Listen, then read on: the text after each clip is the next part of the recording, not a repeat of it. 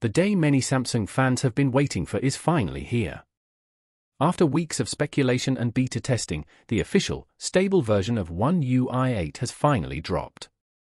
It's a hefty update, clocking in at around 3 gigabytes, and it promises smoother animations, refined Galaxy AI, deeper lock screen customization, and dozens of small quality of life improvements. On paper, this is Samsung at its best, evolving an already polished skin and bringing even more functionality to Galaxy devices. But here's the thing. With every new release, we don't just look for shiny new features. We also hold on to the hope that long-standing bugs and frustrations will finally be addressed. That when we hit download on that massive update file, we're getting more than just tweaks and gimmicks, we're getting fixes for the issues that have been haunting users for months, if not years. So in this video, I want to do something different.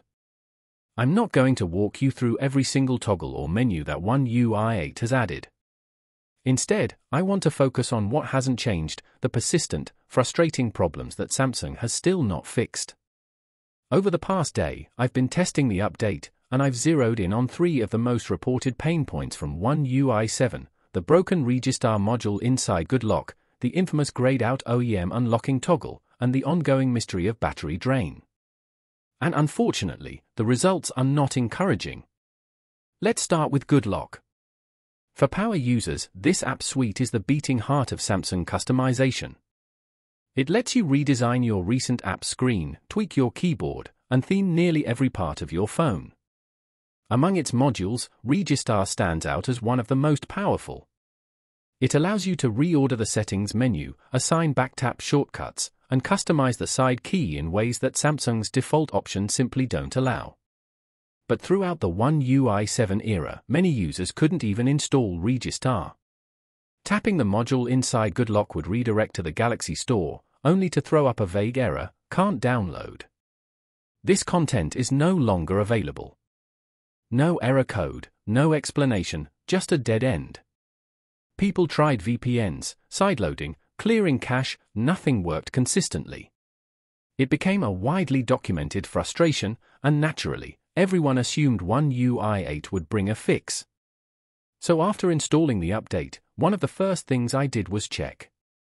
I opened GoodLock, tapped on Registar, and the same error message appeared. Still broken. Still inaccessible. And that's a huge letdown. For Samsung to roll out an entirely new OS version and not fix a flagship module in its own customization suite is baffling. It tells users that these deeper personalization tools, the very things that set Galaxy devices apart, are simply not a priority. For enthusiasts who rely on Registar, One UI 8 begins with disappointment. Now let's move on to something even more fundamental, OEM unlocking. For Android enthusiasts, this toggle in developer options is the gateway to full device ownership.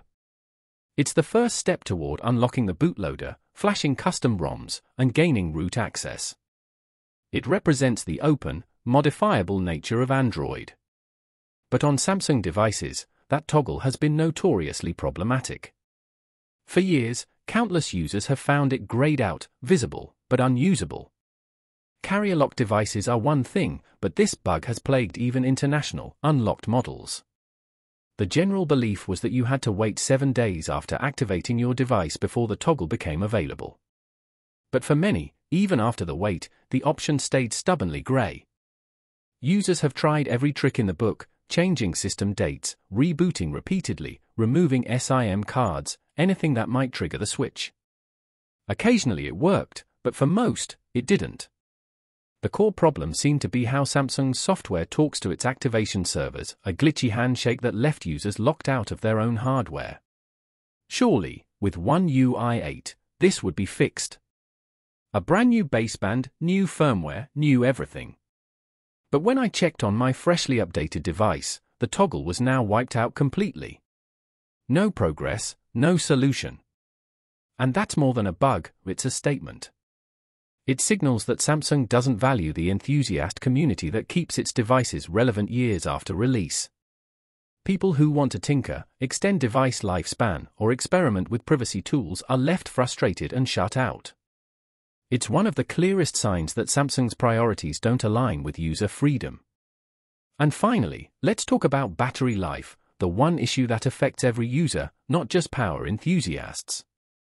Every software update comes with the promise of better optimization, improved stability, and longer battery life. And every time, people hope this will be the update that finally delivers. But with One UI 7, a huge number of users complained of abnormal idle drain. Phones would lose 15 to 20% overnight with no clear explanation, while system services like Android System or Mobile Network Standby were the usual suspects. During the One UI 8 beta, testers reported that battery drain hadn't improved, and in some cases, had gotten worse. The expectation was that the stable release would fix things.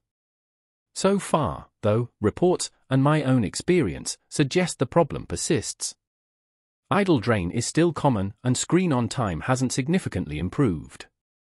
And while it's true that new updates take a few days to settle, the early signs don't inspire confidence. Users are once again resorting to deep sleep settings, disabling background features, and wiping cache partitions to try and claw back battery life. It's frustrating, because a major OS update should solve problems, not recycle them. So where does that leave us? With One UI 8, Samsung has introduced fresh polish and features, yes. But it's also dragged forward some of the ugliest bugs from the past. Registar in Good still refuses to install for many users. The OEM unlocking toggle remains broken, locking people out of true device control. And the persistent specter of battery drain continues to hang over Galaxy devices. For a company that prides itself on leading the Android ecosystem, that's not good enough. A 3GB update should deliver more than cosmetic upgrades. It should deliver reliability, consistency, and fixes for the issues that users have been shouting about for years. And until Samsung starts treating these problems with the urgency they deserve, One UI will always feel like it's falling short of its potential. And don't go anywhere just yet. I know you're here because you want to get the absolute most out of your smartphone. Over on the left of the screen, you will find my deep dive into the best hidden features of One UI 7, many of which are still perfectly relevant and incredibly useful in One UI 8. It's the perfect companion to this video, focusing on the powerful things that actually do work. And over on the right of the screen, I have my ultimate guide to optimizing your Samsung phone's battery life. It's packed with tips and tricks that might just help you combat some of the battery drain issues we discussed today. If you were amazed by the level of detail in this video, you are absolutely going to love those ones too. They are packed with the same practical, in-depth information you've come to expect from this channel.